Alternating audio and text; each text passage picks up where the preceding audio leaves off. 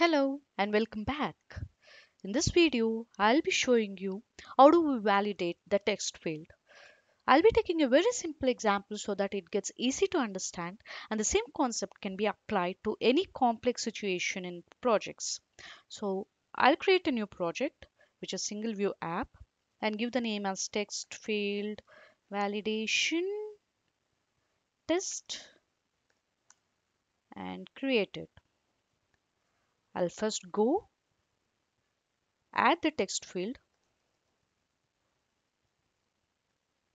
and also add a label. So this label is basically going to display an error message as and when the text is typed into the text field. So let me just expand it a little bit and very quickly add the constraints so that this stays fit in whatever device it is being run and missing constraints done. So i'll also change the uh, you know the color of this label. Since this will be an error label i will probably give it a red color. And i'll just remove the text and i'll make the number of lines as zero so that it grows according to the error message. Now i would also like to create an uh, outlet for my uh, text field and label because I've got some things, a few things to be done on the code side. So you go text field and then another outlet for my error label. I'll name it as error label. Done.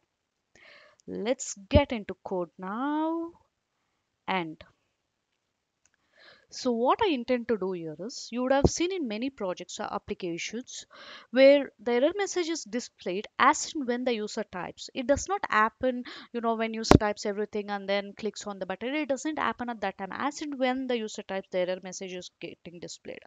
So we'll see how this can be done.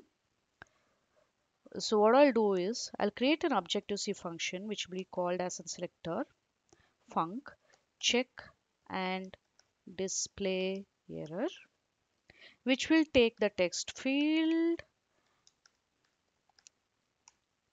as an input argument.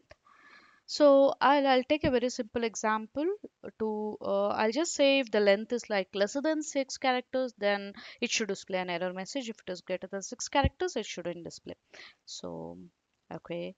So if text field dot text dot count is greater than or equal to 6 then uh, label error label dot text is equal to enter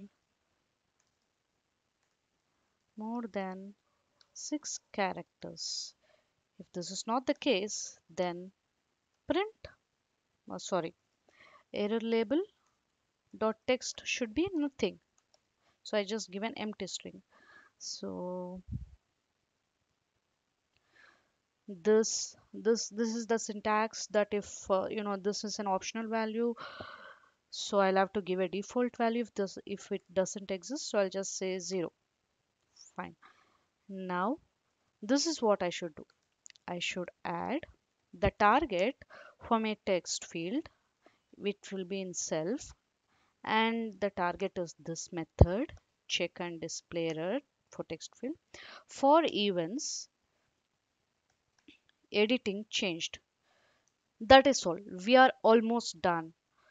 So when i say this the text field whenever the editing in the text field whenever the editing changes this target will get called. So ideally this method will get called and the check will be made and action will be taken accordingly so i'll run this and see what happens.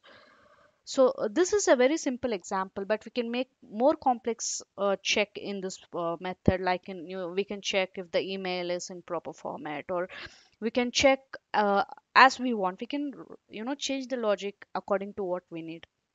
So let me check. So i start typing